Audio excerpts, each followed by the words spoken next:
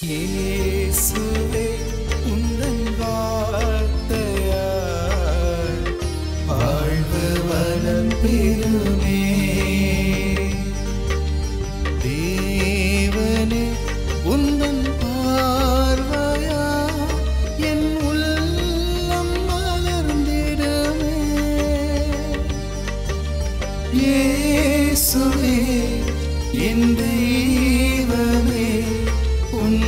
வார்த்தை ஒளிர்ந்திடுமே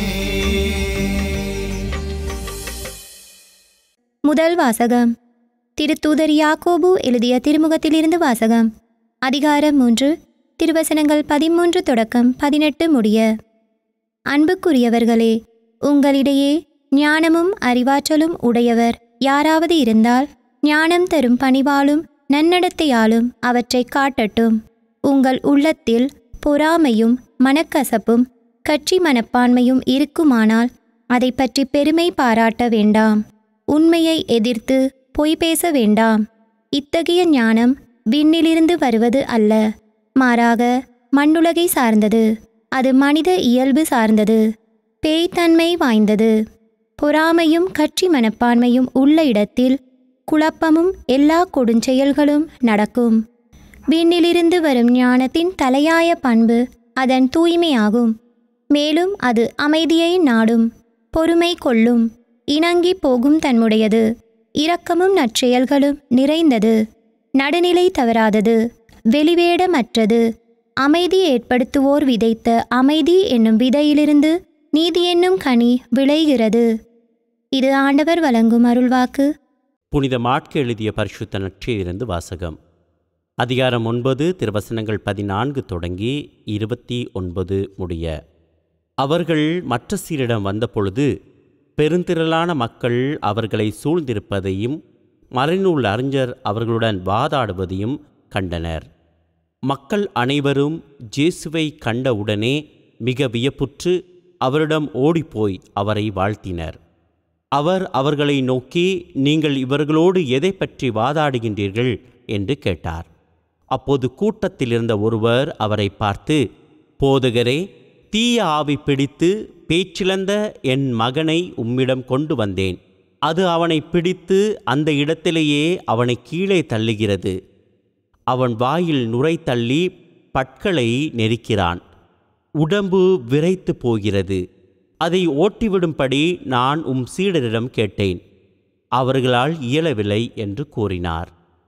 அதற்கு அவர் அவர்களிடம் நம்பிக்கையற்ற தலைமுறையினரே எவ்வளவு காலம் நான் உங்களோடு இருக்க இயலும்? எவ்வளவு காலம் நான் உங்களை பொறுத்து கொள்ள இயலும்? அவனை என்னிடம் கொண்டு வாருங்கள் என்று கூறினார். அவர்கள் அவனை அவரிடம் கொண்டு வந்தார்கள்.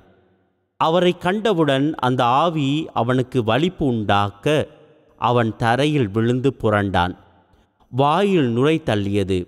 அவர் அவனுடைய தந்தையை பார்த்து இது இவனுக்கு வந்து எவ்வளவு காலமாயிற்று என்று கேட்டார். அதற்கு அவர் குழந்தை பருவத்திலிருந்தே இது இருந்து வருகிறது. இவனை ஒழித்துவிட தீயிலும் தண்ணீரிலும் பலமுறை அந்த ஆவி இவனை தள்ளியதுண்டு. உம்மால் ஏதாவது செய்ய இயலுமானால் எங்கள் மீது பரிவு கொண்டு எங்களுக்கு உதவி செய்யும் என்றார். ஜேசு அவரை நோக்கி இயலுமானாளா? நம்புகிறவருக்கு எல்லாம் நிகழும் என்றார். உடனே அச்சிறுவனின் தந்தை நான் நம்புகிறேன். என் நம்பிக்கையின்மையை நீங்க உதவும் என்று கூறினார். அப்பொழுது மக்கள் கூட்டம் தம்மிடம் ஓடி வருவதை ஜேசு கண்டு அந்த தீய ஆவியை அதட்டி ஊமைச் செவிட்டு ஆவியே உனக்கு கட்டளையிடுகிறேன். இவனை விட்டு போ. இனி இவனுள் நுழையாதே என்றார். அது அலறி அவனுக்கு மிகுந்த வலிப்பு உண்டாக்கி வெளியேறியது. அச்சிறுவன் செத்தவன் போலானான். ஆகவே அவர்களுள் பலர் அவன் இறந்து விட்டான் என்றனர். ஜேசு அவன் கையை பிடித்து தூக்கிவிட்டார். அவனும் எழுந்தான். அவர் வீட்டில் நுழைந்ததும் அவருடைய சீடர் அவரிடம் தனியாக வந்து அதை ஏன் எங்களால் ஓட்ட இயலவில்லை? என்று கேட்டனர். அதற்கு அவர் இவ்வகை பேய் இறை வேண்டலினாலும் நோன்பினாலும் அன்றி வேறு எதனாலும் வெளியேறாது என்றார். இது கிறிஸ்து வழங்கும் வாழ்வு தரும் நற்செய்தி. இறை பிரியமான சகோதர சகோதரிகளே இன்றைய நாள் வாசகம் நம்முடைய வாழ்வில் ஒரு பெரிய எதிர்பார்ப்பை காத்திருக்கிறது. எதிர்பார்க்கிறது. என்ன அது? நம்முடைய வாழ்வு எந்த அளவிற்கு நம்பிக்கையுள்ள வாழ்வாக அமைந்திருக்கிறது. காரணம் இன்றைய நற்செய்தியிலே வருகின்ற அந்த சிறுவனுடைய தந்தை அந்த சிறுவன் பிடிக்கப்பட்டிருக்கிறான் நோய்வாய்ப்பட்டிருக்கிறான். அவனை தாக்கி இருக்கின்ற அந்த பிடி அந்த பிணி அந்த பேய் அவனை விட்டு நீங்க வேண்டும். அவன் ஜேசுவிடத்திலே வருகின்றான். தன்னுடைய மகனை பற்றி சொல்லுகின்றான். சொல்லுகின்ற பொழுது அவன் விடுகின்ற வார்த்தை இயலுமானால் அவனை குணமாக்கும் என்று சொல்லுகின்றார் ஆனால் ஜேசு என்ன சொன்னார்? இயலுமானாலா? இல்லை. நம்புகிறவருக்கு வாழ்வுண்டு என்று சொல்லுகிறார். நீ நம்பினால் நிச்சயமாக உனக்கு யாவும் கைகூடும் என்று சொல்லுகின்றார். ஆம் இறை ஜெஸ்ஸுவுக்குள் பிரியமான சகோதர சகோதரிகளே நாம் எந்த அளவிற்கு ஆண்டவன் மீது நம்பிக்கை வைத்திருக்கிறோம் என்று எங்களையே நாங்கள் கேட்டு பார்ப்போம். என்னுடைய நம்பிக்கை எந்த அளவிற்கு ஆழமானதாக இருக்கிறது? வேதாகமத்தை நாங்கள் புரட்டுகின்ற பொழுது எத்தனையோ பேர் தங்களுடைய நம்பிக்கையினால் மீண்டும் புதிய வாழ்வை பெற்றார்கள். தங்களது நோய்களில் இருந்து விடுதலை பெற்றார்கள். இறந்தவனை கூட அவர்களுடைய நம்பிக்கையில் இயேசு பார்த்து அவனுக்கு புதியதொரு வாழ்வை பெற்றுக் கொடுத்தார். இவ்வாறாக இயேசு அவர்களுக்கு அவர்களுடைய பிணிகளில் இருந்து விடுதலையை கொடுக்கிறார் என்று சொன்னால் நானும் நீங்களும் அதே ஆண்டவரிலே நம்பிக்கை கொள்ள வேண்டும். சாதாரண நம்பிக்கை அல்ல. வெறும் ஸ்- வார்த்தைகளால் அல்ல.